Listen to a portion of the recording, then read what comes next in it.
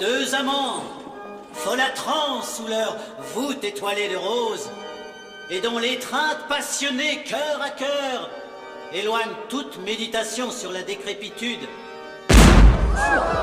jusqu'à l'instant où ils se trouvent à ma portée.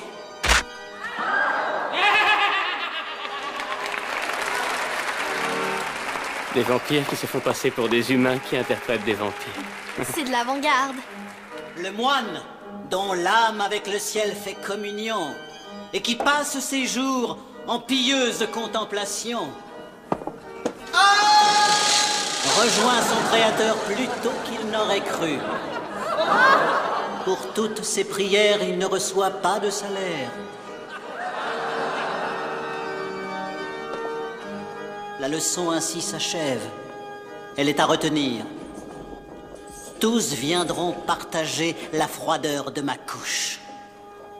Chacun devra courber son front sous mon baiser. Mais qu'entends-je Se peut-il qu'un mortel vienne à passer? Non Qu'avons-nous là? Quelle beauté s'offre à mon regard? Rose épanouie, craintive, violette Peut-être qu'elle veut fêter nos épousailles. Peut-être ma leçon n'est pas encore finie. Je ne peux pas mourir. Mais nous sommes la mort et l'avons toujours été. Aidez-moi, je vous en prie.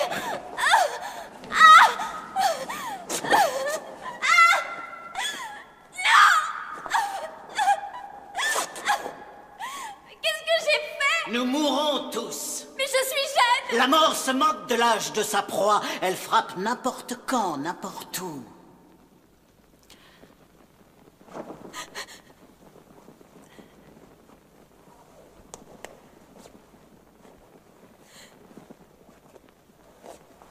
Aussi sûr que cette chair en cet instant est rose, elle deviendra grise et ridée avec l'âge. Laissez-moi vivre, ça m'est égal Alors il t'est égal de mourir aujourd'hui.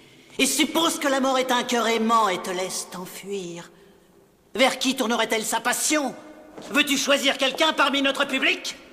Quelqu'un qui souffrira comme tu souffres. Oh oui, monsieur le vampire, prenez-moi. Je vous adore. Attends ton tour. Alors Sais-tu ce que cela veut dire que la mort soit amoureuse de toi? Que nous voulions te prendre pour femme?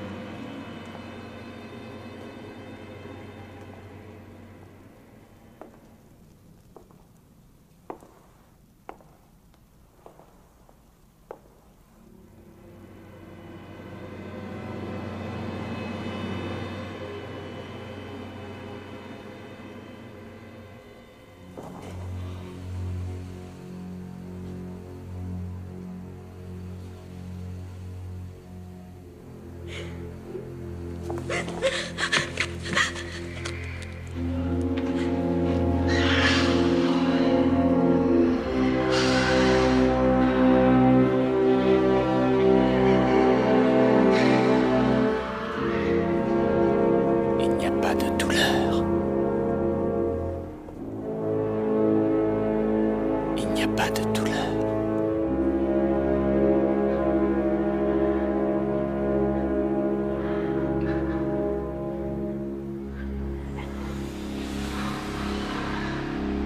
Monstrueux.